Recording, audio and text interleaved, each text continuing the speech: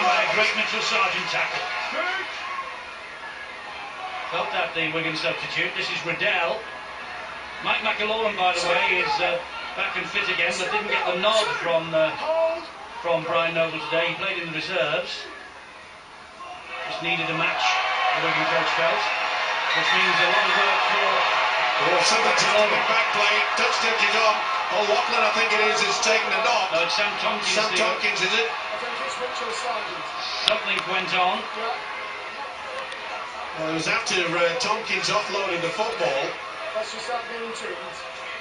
Oh, there was a shoulder there by the big fella, Mitchell Sargent. Well spotted by the touch judge.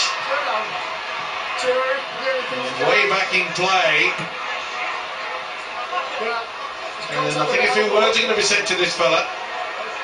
Well, I know if it's a late challenge on a man who's kicking the ball, it's an automatic sin binning, but uh, that's almost, if not worse. I mean, that's off the ball. Yeah. What teams try to do, Eddie, they try to make players that handle the ball get up off the floor as many times as they can. Sometimes when they pass the ball, get them on the floor and make them get up a little bit too long. Careful. You've got to put the incident on report. Penalties going Well, to there are win. ways and means to do that. Okay, mate. All right. Okay. And I think he's rather fortunate on report. I don't think to we heard anything further after that. It was uh, it was nothing malicious. Certainly put the young fella down on his backside, just a shoulder, wasn't it? It's a late challenge with the shoulder. Nothing malicious, no? As I say, sometimes.